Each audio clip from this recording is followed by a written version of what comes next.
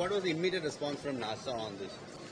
they were so excited uh, to understand Indian could successfully launch using the indigenously developed GSLV Mark II vehicle, our own uh, vehicle for which the technology was denied, cryogenic technology was denied and we have developed and we have successfully used that rocket and placing the satellite in the orbit. They were excited and extremely happy. And it was one of the most precise uh, Ah, it is one of the most precise which has happened in the world itself, I can tell.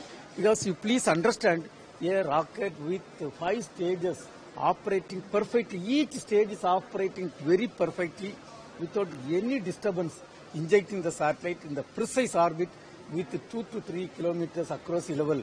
It is uh, unimaginable uh, achievement even for them and uh, the entire country can be today proud that a very technologically intensive, costly, and highly useful uh, satellite, which is built jointly by India and America, is placed in the orbit perfectly by Indian launcher, the GSLV Mark II F-16 vehicle.